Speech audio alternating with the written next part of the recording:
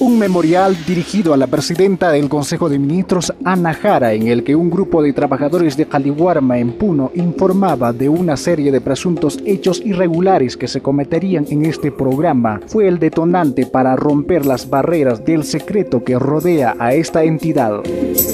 El primer hecho revelado por este memorial y que fue corroborado por Foro TV es que el jefe zonal de Caliwarma, Rubén Pacheco Castañeda, ha contratado como su empleado de confianza al propietario de la casa donde vive. Asimismo, Pacheco Castañeda también ha contratado como empleado y un puesto estratégico al dueño de la vivienda donde funciona el local de Caliwarma y que también es propietario del vehículo alquilado a esta entidad. Creo que es el, el esposo de la propietaria de la casa donde estamos alquilando.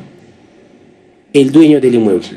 Sí, está trabajando, está cumpliendo una función para supervisión de, de, del comité. Son dos cosas distintas las que se están presentando. El señor está cumpliendo una función, un servicio profesional, independiente pues al servicio de alquiler de la casa. Es mi casa, claro, es mi casa pero no lo cobijo ahí al, señor, al, ingeniero que es mi jefe. Para el abogado Rolando Jiménez Sardón, según la ley del Código de Ética de la Función Pública, Rubén Pacheco Castañeda ha olvidado que como funcionario le está prohibido tener ventajas indebidas para sí o para otras personas mediante su cargo. El servidor público está prohibido de obtener ventajas indebidas. Lo que está haciendo allí es, un, es obtener una ventaja indebida a favor del dueño de casa. Es más, esto podría inclusive calificarse como un delito. Primero, que se estaría cometiendo un delito y en segundo lugar, que al margen de la responsabilidad penal existe una responsabilidad administrativa.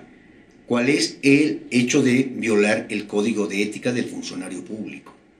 Y que eso amerita, de acuerdo a la gravedad del caso, inclusive la destitución del funcionario público. Lo más delicado del memorial y que Pacheco trata de minimizar es que el jefe zonal de Caliwarma ha permitido que se distribuya en toda la región de Puno conservas vendidas por una empresa que ha presentado una certificación falsa, es decir, conservas sin garantía, favoreciendo abiertamente a una empresa que ha cometido un delito. ¿Esta decisión de Pacheco es gratuita?